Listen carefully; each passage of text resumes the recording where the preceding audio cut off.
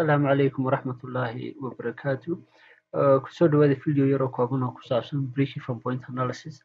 So breakeven pointku normally waxa waa pointka aanu companigu lossna ku jirin profitna aanu sameynin that means waa pointka companiga profitkiisa iyo losskiisu uu isleegyahay pointkaasaa waxaa loo yaqaanaa break even point ayaa pointkaa loo yaqaana so break pointka companiga waxaa lagu sheegi karaa in terms of production of quantity quantity production the production the number of items ka companigu soo saaro ama revenue levelka okay marka in revenue levelka loo yidhaahdo break even pointka revenue revenue companigu waa inta ama in la yidhaahdo quantitygaas markuu companigu soo saaro break even point gaaraya waxay ku xidhan tahay nooca companiga waxay ku xidhan tahay nooca companiga uu yahay.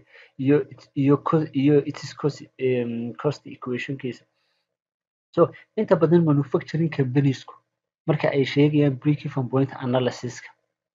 Waxay their cost equation u sheegaan in terms of quantity sababtoo ah manufacturing companiesku waa kambaniyada waxbay soo saaraan markaasay selgarayaan retail companieskuna waa kambaniyada alaabta soo iibsaday kadibna dib u sii iibiya. Therefore cost equationkooda iyagu waxay ku base gareeyaan revenuega marka waxay dhahdaan revenueganu markuu intaa noqda ayaa break even pointka la gaaraya halka manufacturing companiesku ay inta badan yidhaahdaan okay marka intaasoo unit ama intaasoo quantity la soo saaro ayaa break even pointka la gaaraya so videogan haddii la yidhahdo waxaan ku sharaxaynaa caseka ah manufacturing company cases.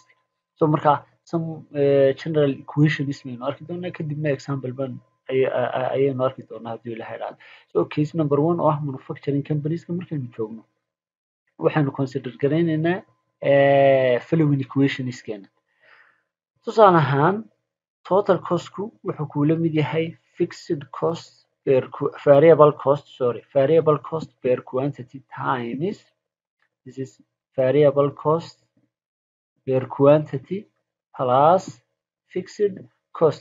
So halkan tc waxay u taagan tahay waa total cost.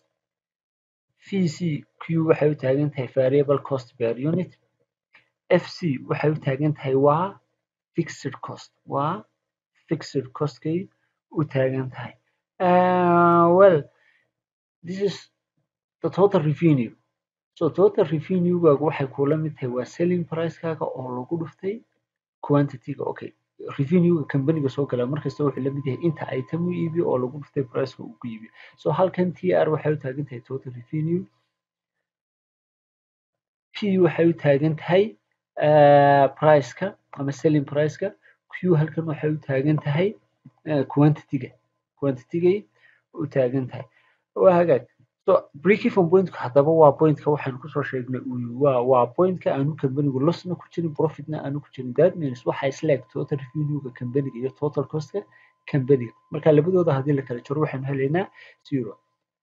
So at break even pointka inaynu mathematical equation u qornaa waa qaabkan oo kale waa total revenuegaagu wuxuu la yahay total costkaaga kaasoo aynu odhan karno total revenuegaaga marka laga jiro total costkaaga kuu soo baxaya wuxuu noqonayaa maxay zero buu noqonaya waa hagaag. Marka total revenuegeenu muxuu inoola mid ahaa total costkeenuna muxuu inoola mid ahaa. Halkan eega halkan total revenuegeenu wuxuu inoola mid ahaa maxay? Waa selling priceka oo lagu dhuftay quantityga total costkeenuna muxuu inoola mid ahaa wuxuu inoola mid ahaa this equation. Okay sidaynu ku soo aragnay slidekii hore total revenuegeenu total costkeenu wuxuu inoola mid yahay. Variable cost per quantity ama per unit plus fixed cost. Intana waxayna siisaa total costka intana kusiisa so equation labadan equation baynu halkan ku bedelna equation halka total costka.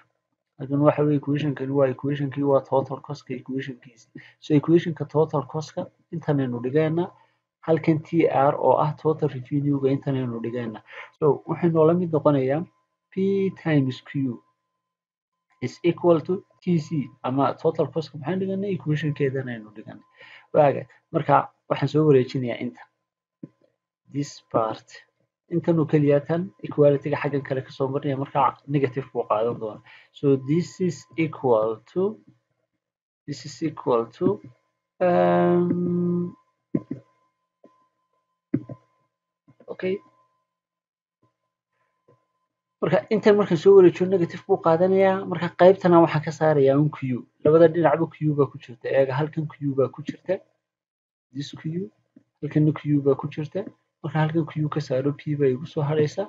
Xaggana markan q ka saaro waxaa igu soo haraya variable coskaaga okay waay marka waxaan doonaya inaan q helo oo u taagan breakeven pointka. Therefore waa inaan dhinac kasta maxay u qaybiyaa?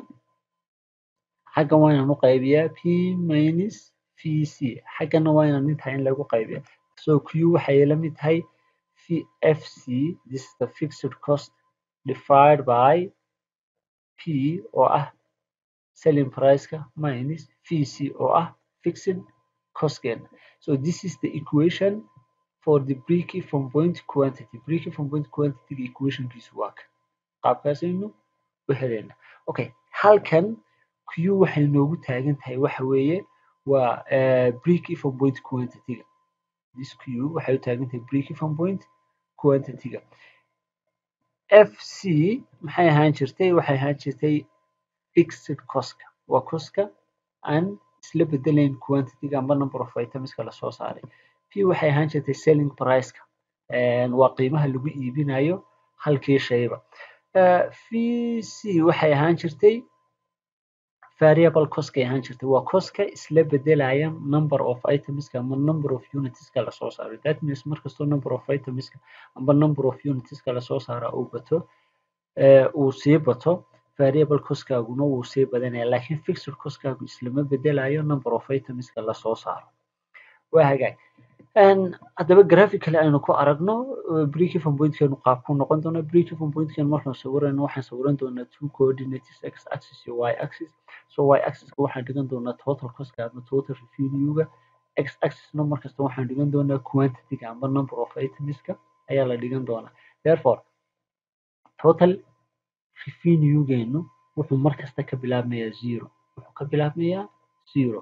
Oo for example companigu haddaanu waxba iibinin revenue-giisu waa zero revenue-giisu goormuu increase garoobaya markuu alaabta iibiyo ayuu revenue-giisu increase garoobaya okay alaabtii markuu soo saaro xataa alaabtii markuu soo saaro haddaanu iibin still revenue-giisu waa zero laakiin alaabtii markuu soo saaro ee uu suuqa geeyo ee uu iibiyo ayaa wuxuu helayaa maxay revenue-giisu marka revenue-giisu marka waxay la kordhaysaa inta sales uu sameeyo marka zero markasta ka bilaabmaysa.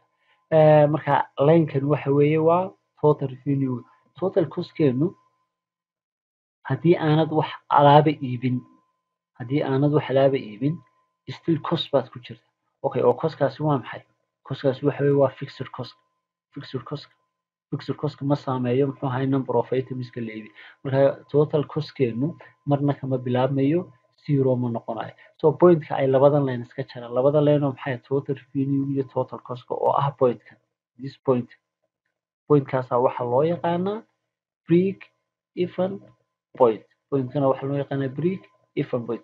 So below the break even point intan haddaad eegto break even pointka wax intan ka hooseeya labada linkeebaa sarreeya waxaa sarreeya coska markaa coskaa badan maxaa yar revenue-gaa badan. So that point companigu wuxuu ku jiraa loss buu ku jiraa this point.